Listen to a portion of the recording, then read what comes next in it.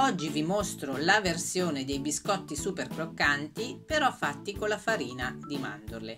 Precedentemente avevo fatto un video con la farina di noci. Per prepararla avete bisogno di 150 g di farina di mandorle tritata grossolanamente, 50 g di eritritolo, tenetene un po' a parte per eh, la decorazione finale, e due albumi del succo di limone e della buccia di limone grattugiata. Quindi unite l'eritritolo alla farina di mandorle. Poi montate a neve i due albumi. Unite il succo di limone e le scorze sempre alla farina e successivamente delicatamente anche gli albumi. Ora date la forma con un cucchiaio che vi viene più facile, decorate con ancora un pochino di eritritolo in superficie, io gli ho messo delle scorzette di limone e un pochettino di granola, di, mandorle, di noci. Poi mm, con la vostra teglia da forno in cui avete messo i vostri biscotti infornate a 180 per 15-20 minuti.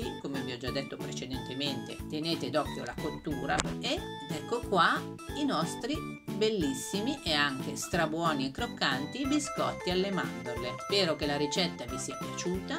Come sempre vi invito a mettere like a iscrivervi al gruppo e al canale youtube e io vi auguro sempre buon appetito